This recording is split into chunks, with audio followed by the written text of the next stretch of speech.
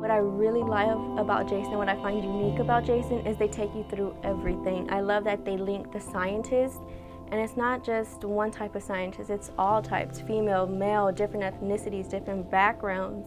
And I love how they link it to what we're doing in class. It gives the students relevance, it gives the students knowledge about different careers other than just cosmetology and mechanics or building houses teachers, you know, they're so swamped trying to do grades and lesson plans. Jason makes it really easy because the scientists are already, I mean, they're there. They're, they're able to get into contact with, so you don't have to spend a lot of time looking for people that fit into that particular unit. Jason has already done that part for us. And I think the feedback that they get from these, you know, prestigious scientists really is amazing because they're going to become interested in whatever it is that they're studying because they feel like they're part of it. What I love about Jason is that it's online, so one, it's easier for me to look at instead of having to look at past worksheets from other teachers, uh, but also that it's just really authentic. It's definitely 21st century. It's so organized. Like I love that I can now go and look at specific units. I can pull bits and pieces out I love the videos. I love how it's called missions, which for me, if I'm 13, I feel special. I'm going on a mission. So it's really engaging for not just the middle school, but K through 12. It starts off with that engage piece and it gives kids the opportunity to explore. And during that period of engage and explore, you know, their minds are working like little gears and they start thinking about things. What if? How can I? How could this be done?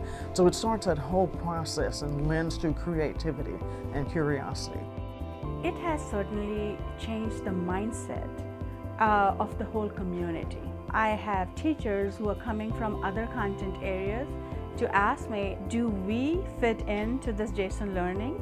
I'm not a science teacher, I teach social studies, but do I fit in? And I try to explain to them how you can integrate geography um, in our Jason components or how you can use Jason components in your geography lesson or in your social studies lesson and they get amazed. And this is something that uh, I strongly believe in that teaching cannot be uh, or learning cannot happen in isolation.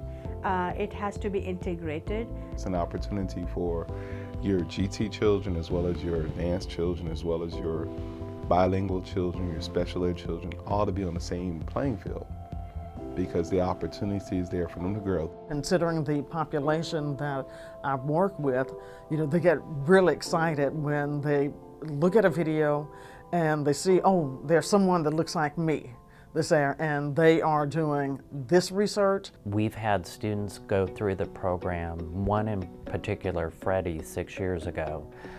He went to the Aegean Sea, came back, and he is now in college first person in his family to go to college.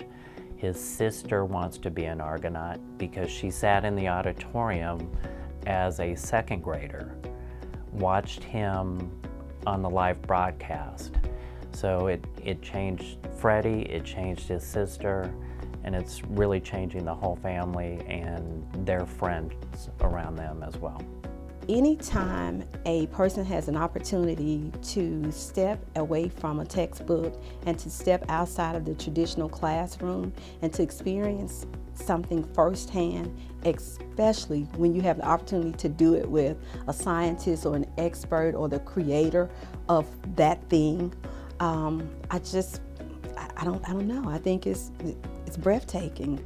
If I'm getting this excited about something, I know that I can take this back home and I can pump those students up to be this excited about science.